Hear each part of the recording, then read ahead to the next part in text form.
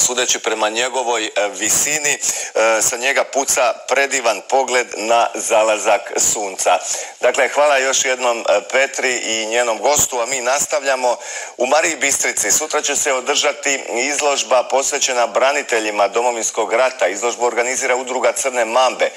Tko sve izlaže svoje radove, koliko je akademskih slikara, više znaju naši gosti. Pozdravljamo u studiju Ivicu Šafarića, predsjednika udruge Ninđu, predsjednika udruge Crne Mambe i Morgana Matijevića, fotografa. Gospodo, dobar dan, dobrodošli. E, evo, gospodine Matijević, za početak, tko izlaže u Mariji Bistrici, zašto je ova izložba važna? Izložba je ovo je sad mogu reći u nizu koja je počela skromno sa dva, tri izlagača. Moram spomenuti gospodina Marina Zajca Koze e, iz on inače izlaže u inozemstvu više nego u Hrvatskoj. To je osoban, po meni nažalost, koja je u cijelom svijetu iznadito e, priznata kao i većina umjetnika koji će sutra izlagati sa nama na izložbi u Mari Vizici. Kod nas su manje poznati.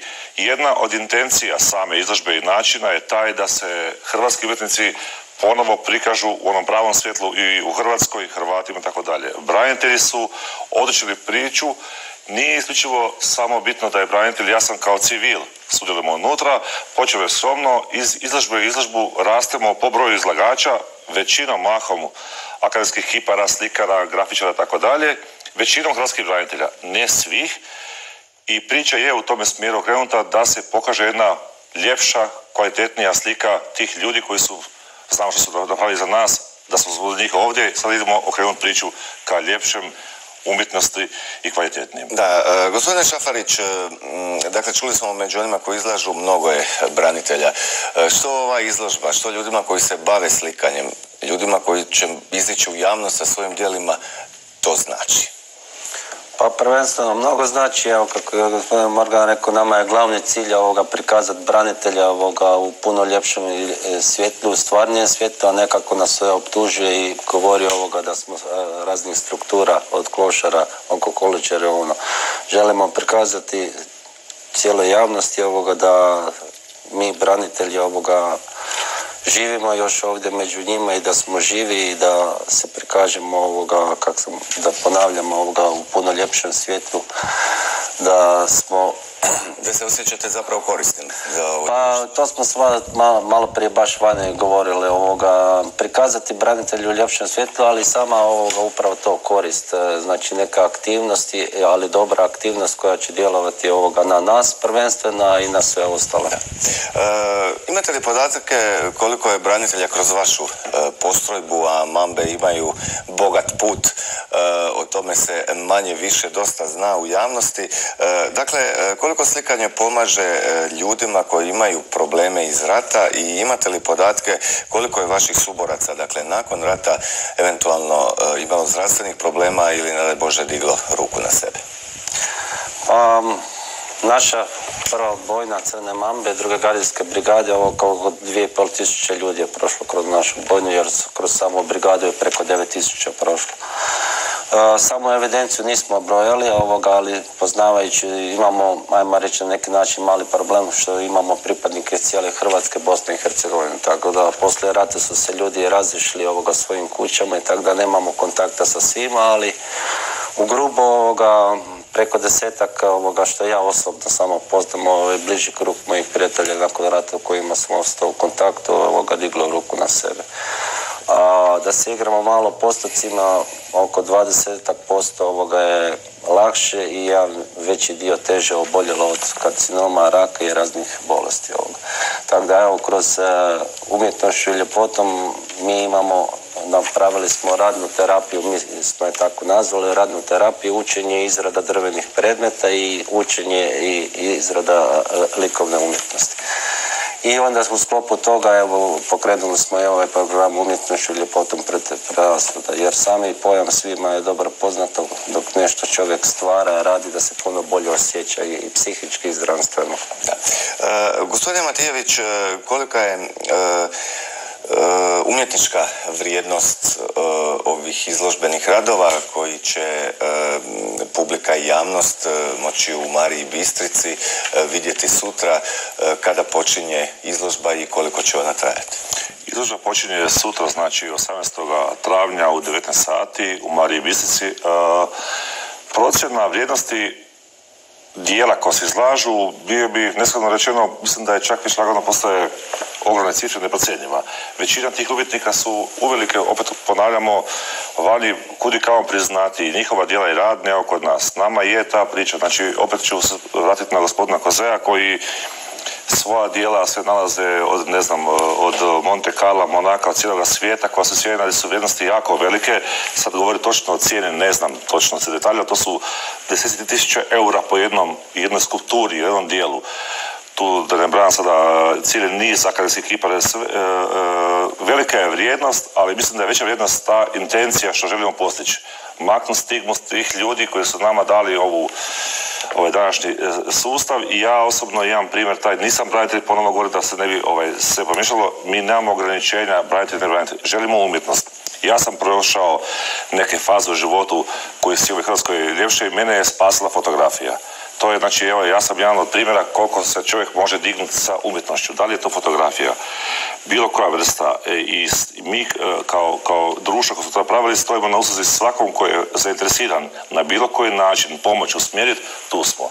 Da. E, gospodine Šafarić, e, postrojba Crne Mambe e, uskoro obilježava i svoj rođendan, to je čini mi se idući mjesec. Što za vaš znači okupljanje? Dakle, ne samo ova izložba, na ovoj izložbi će se okupiti i brojni generali, dakle i brojni suborci, izlagači. Znači, što za vas znači uopće obilježavanje tog dana i vjerujem sjećanje na vaše kolege koji su ostavili život na ratnom putu?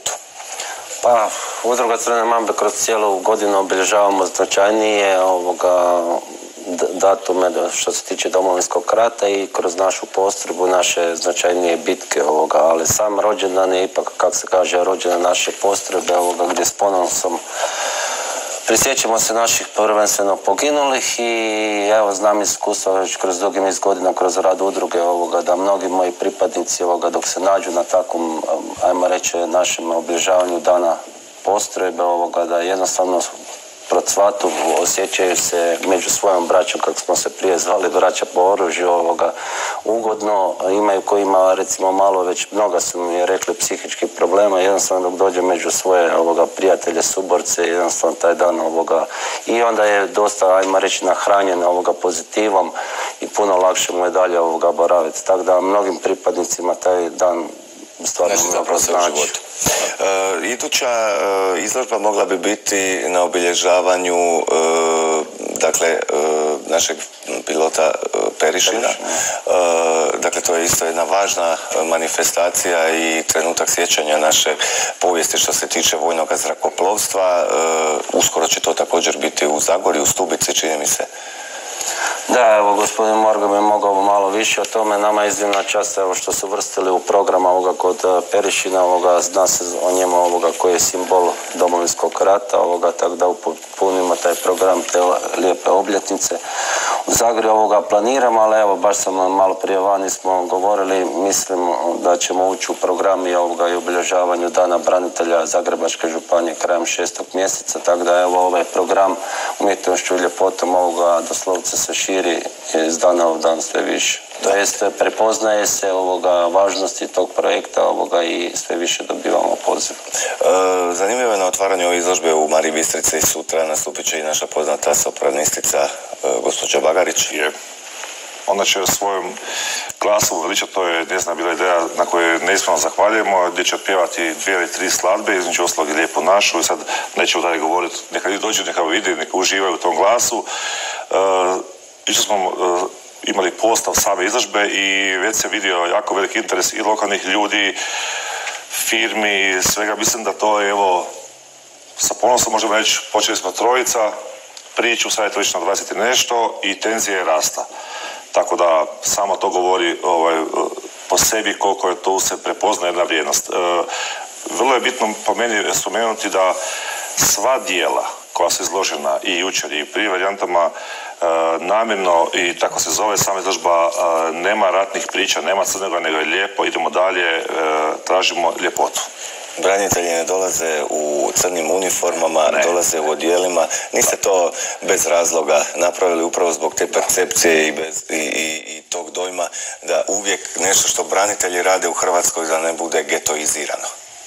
Prva izložba, ako mogu samo reći, prva izložba mala koja je bila u bolnici Vračak u okolici Zaboka koja je specijalna poznata znači za naše vojnike, bilo je jako veliki strah što će biti u toj prostoriji svim posložili. Uh, uživao sam u tom momentu što kad smo otvorili vrata, kad su došli uzanici visoki, vidio se na licima to oduševljenje i, i onako neka lakoća i ljepota. To je, znači, je ta priča. Nije sve crno, nije, imamo mi tu drugu priču. Da, e, ono što svakako ne bi e, smjeli smetnuti u suma ili zaobići, to je taj plan u budućnosti da ove izložbe budu prodajne, da se planira nekih 30% od prodanih umjetničkih dijela koji bi se zapravo e, odrekli sami autori, a ostatak da ide u jedan fond e, ne samo za zbrinjavanje, nego zapravo za nabavku skupih lijekova za e, liječenje branitelja.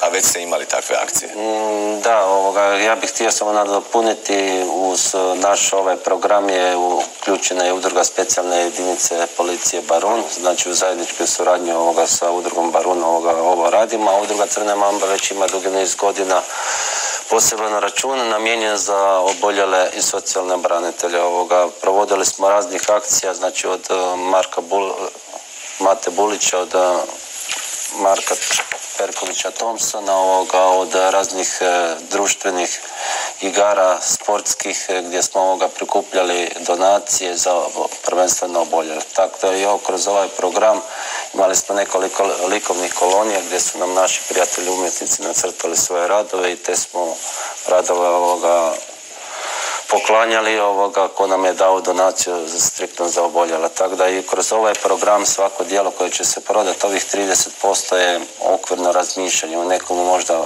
više, u nekom manje, a uglavnom u tom nekom okviru išao bi sredstva za poseban račun i striktno za oboljela, znači transparentno i i namjenski. Namjenski, čisto upravo to sam htio reći, čisto namjenski ovoga, jer ima mnogi ljudi su ovoga skeptični, ovoga misleći da se ne bi ovoga kod nas sve transparentno. Da. E, gospodo, hvala vam evo još jednom poziv e, javnosti svima onima koji su zainteresirani da dođu u Mariju Bistricu sutra u 19 sati vidu, vide izložbu e, branitelja e, koja svakako će biti zanimljiva, a imat će i jednu umjetničku vrijednost. Hvala lijepo. Hvala. Hvala vam.